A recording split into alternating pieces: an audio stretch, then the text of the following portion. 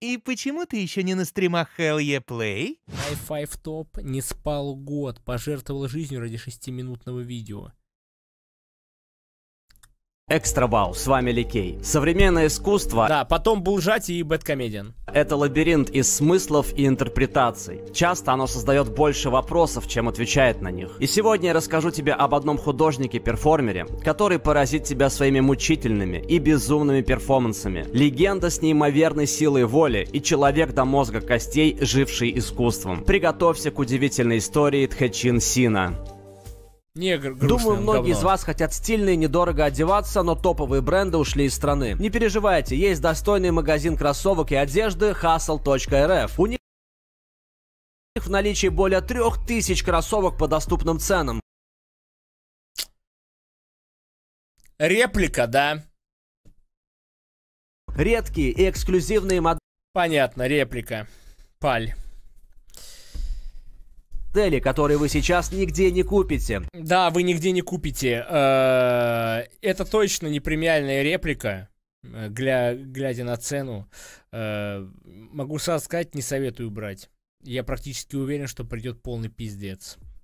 Тхэчин Си, он же Сэм, родился в 1950 году в Тайване, в семье из 15 детей. Бросив школу, Си увлекся написанием картин, и уже тогда он решил посвятить свою жизнь искусству. После того, как он три года отслужил в армии, Си переключился с картин на перформансы. И свой первый перформанс он совершил еще в Тайване в 1973 году. Назывался он просто «Прыжок». Си прыгал со второго этажа здания на асфальт. В результате этого перформанса он сломал себе обе лодыжки. Идея и смысл всего действия никогда не комментировались самим художником, что будет довольно характерно и для его будущих перформансов. Местная публика не нашла привлекательными изыски Си. И разочаровавшись в этом, художник решил перебраться в США и попытать удачу там. Сделал он это абсолютно нелегально, прибыв в Америку без визы и практически без денег. Как говорил сам Си, он ошибочно думал, что Нью-Йорк являлся маленьким городом, и на поиски района Сохо у него ушло два года, так как он боялся пользоваться метро, являясь нелегалом. Первые несколько лет Си работал мойщиком посуды и уборщиком. В 1978 году он начал серию своих годовалых перформансов с акцией под названием «Клетка». Художник запер себя на год в своей студии в небольшой клетке с кроватью, ведром, умывальником и лампочкой. Также в течение года он отказался разговаривать, читать, писать, слушать радио или смотреть телевизор. Перформанс был нотариально заверен, и нотариус лично проверял, что Си действительно находился в клетке целый год. Его друг приходил каждый день, чтобы принести еду, забрать отходы и сфотографировать Си. Никаких бесед с другом не велось, согласно условиям перформанса. Само действо было открыто для посещения публикой раз или два в месяц. Позже Си рассказывал, что представлял, будто бы угол кровати – это его дом, а комната – улица. Гуляя по комнате, он как бы выходил из дома, а потом в него возвращался. В начале эксперимента Си побрился на лысо, и за год его волосы отросли. Это фотография последнего дня в клетке. На стене художник отмечал каждый прожитый день. Перформанс не получил широкой огласки у общественности, однако Си это не волновало. Едва закончив эту акцию, он Жесть. уже готовился к следующей, возможно, самой своей безумной и жестокой по отношению к самому себе.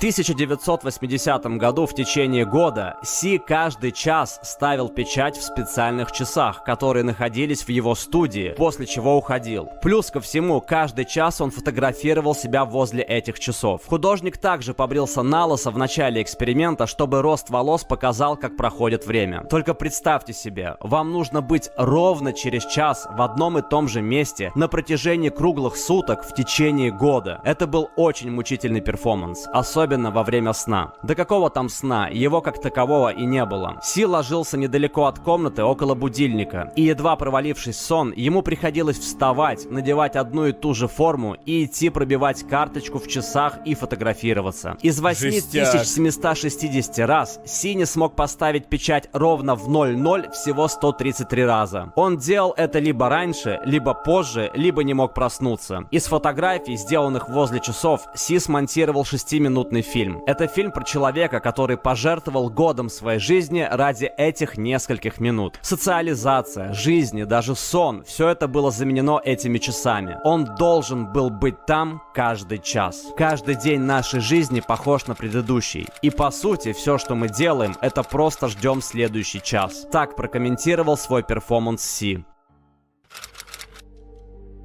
В 1981 году художник принялся за свой новый перформанс. В течение года он решил оставаться на улицах Нью-Йорка. Ему запрещалось Блин, просто лютый чел. Только, конечно, бесполезное говно делает. входить в здания или какие-либо другие укрытия, в том числе автомобили, поезда, самолеты, лодки или палатки. С собой у него был только рюкзак и спальный мешок. Сей перформанс снимался на камеру, однако делалось это редко, так как Си это мешало полностью погружаться в процесс бродяжничества. Художник провел на улице осень, зиму, весну и лето. И именно этот год был самым холодным в Нью-Йорке за последний век. За все время Си был в помещении только 15 часов. Этим помещением оказался полицейский участок, куда его доставили за то, что он применил нунчаки в уличной драке в качестве самообороны. Си называл этот перформанс одним из самых тяжелых, но не физически, а морально, так как он часто сталкивался с презрением людей из-за его вони.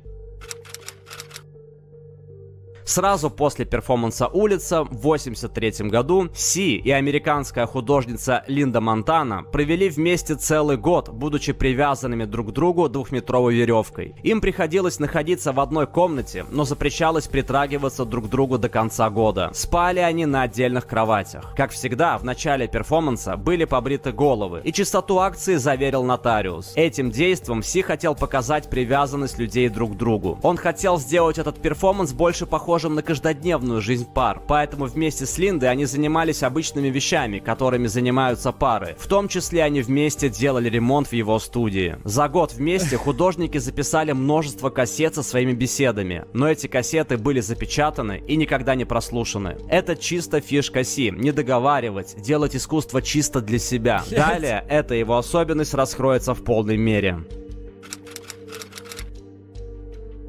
Потому что правообладатели их вынесли, Хэск. Логично, нет, братан? Следующий перформанс Си начался Но неужели непонятно, почему? в 1985 году. И суть его заключалась в следующем. В течение года художник не будет заниматься искусством, говорить об искусстве, смотреть на искусство, читать книги об искусстве или ходить в музеи. Этот год был подготовкой к финальному перформансу Си, который он начал в следующем, 1986 году. 31 декабря, в свое 36-летие, Си провозгласил «Следующие 13 лет я буду заниматься искусством, но я не буду показывать его публично». И до его 49-летия все так и произошло. Лишь 1 января 2000 года он сделал еще одно заявление. «Я сохранил себе жизнь. Я прошел 31 декабря 1999 года». И после этого Си перестал считать себя художником и больше никогда в жизни не занимался искусством. С тех пор прошло 20 23 года, и мир больше никогда не видел новых перформансов Си. Сейчас художнику 72 года. Он все так же нелегально проживает в США и иногда дает интервью разным изданиям. Си превратил свою жизнь в искусство. Он не занимался им отдельно от повседневной жизни. Его жизнь им и являлась. В конце своей деятельности художник так обобщил свои идеи. Жизнь — это пожизненный приговор. Жизнь — это проходящее время. Жизнь — это свободомыслие. Чё-то... Ну...